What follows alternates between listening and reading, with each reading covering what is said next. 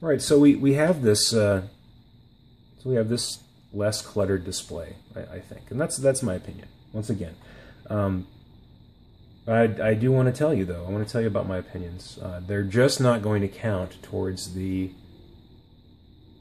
the deciding factors uh, as to whether or not one board is, is better than the other. Um, because I'll, I'll wholeheartedly admit this this guy is more powerful and more versatile, um, straight up. Not not going to deny that, uh, but is it uh, is it better electrically? Well, we're going to find out. So, okay, uh, we talked about talked about the things that that I was uh, going, the different things I was going to test on here. Um, oh, that's another thing. So the going from temperature mode to watt mode. Now, on the uh, on the DNA 40, there you you do have the option of turning um, temperature mode off. And by the way, this thing this is one of the uh, boards, and you're you're going to see it. It's one of the boards that has uh, screen artifacts, the screen issue, um, and that's uh, that's something I'm going to have to I'm going to get this one sent back to Evolv once I'm done with this testing, um, or however they, they choose to, to handle the situation. Um, but, you know, I got this one donated, and uh, I'm not going to bitch about it. It works just fine other than that, so uh, so we'll continue. So to change the temperature setting, you have to lock it. It's in, it's in locked mode, five-click locked. Hold to change temp. You hold down up and down. Okay, and now we can change the temperature by, by tenths. If we go up all the way, we can go to off and it will be in uh, explicitly in uh, in watt mode, um, and it'll just send watts. Um, but you never have to do that. I'm showing you you can do it, but you never ever ever have to. Uh, why, Mike? Why do you never have to? Well, so this thing um, this thing picks up that there is a uh, that there's uh, a temperature control uh, coil on here. And, and it does that by being able to detect that temperature change. Um, so if I pull it off, I said temperature change, didn't I? Resistance change. Um, it detects a resistance change in the coil, um, which, which obviously relates to a temperature change. Uh, no, I didn't go over how temperature control works, and um, and I probably won't because uh, you guys can look it up. If you don't know how temperature control works, you're not ready for this video. So um, I guess what I'm saying is suck it. Uh, suck it hard. So anyway, um, so we take a, uh, let me get a Kanthal build here. Uh, we take a Kanthal build and, uh, and put it on this, this 510.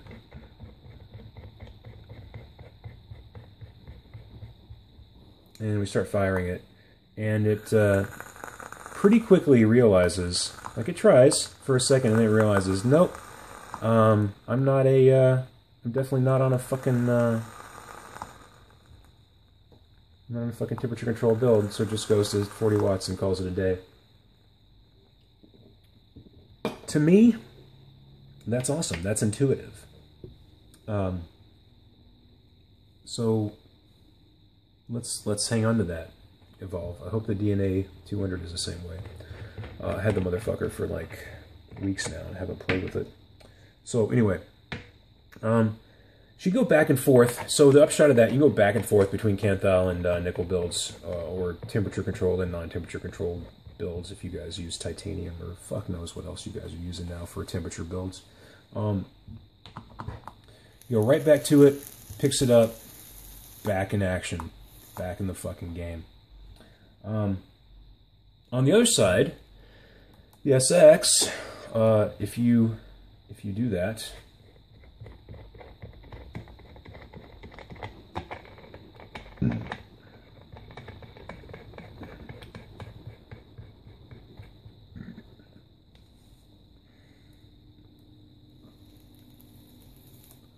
First off, um,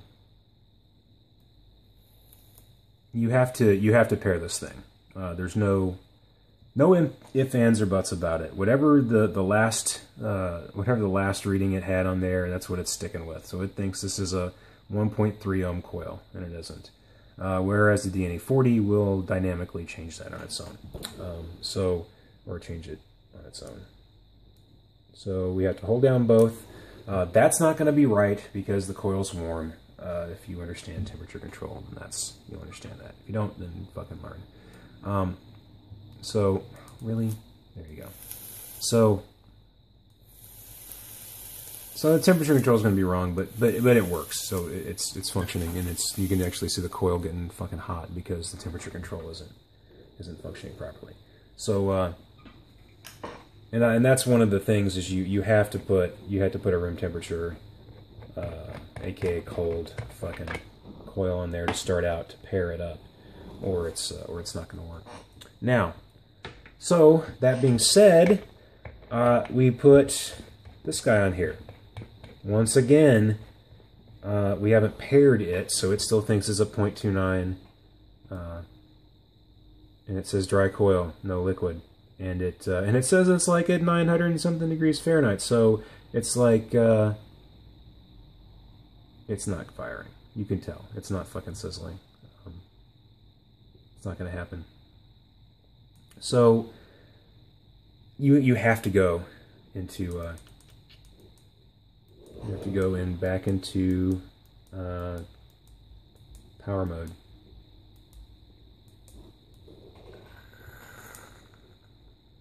And then we get this uh, this nice little um, my battery's too low uh, display, which I think which I think is hilarious. Um,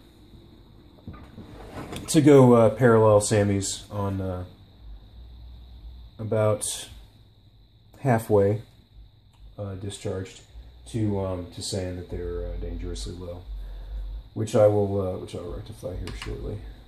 Take the leads off of this little mess that I'm playing with on the side, and uh, and get this bitch charging. So anyway.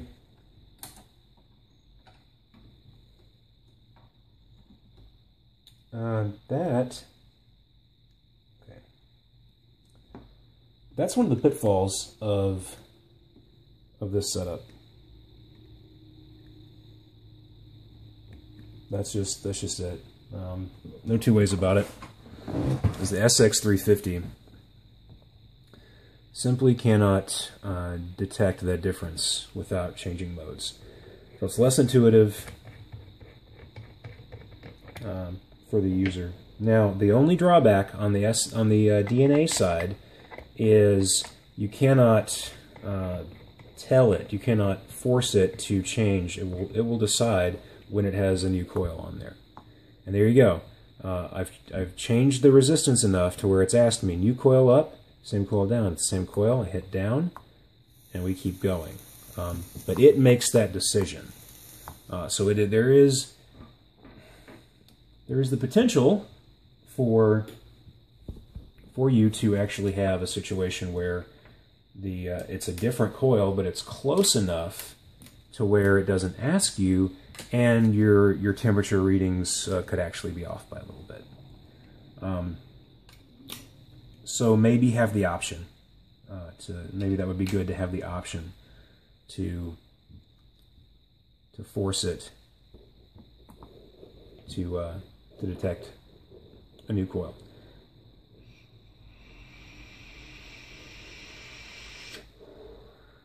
Okay, anyway. Um, so that's kind of that's kind of the, the bulk of my opinions. I'm sure I'll, I'll find some more to talk about as we go through the, the testing procedures. I'm going to talk about the testing procedures, and I'm going to talk about the results of those testing procedures so that we can get uh, we can get a good idea for, for how everything works.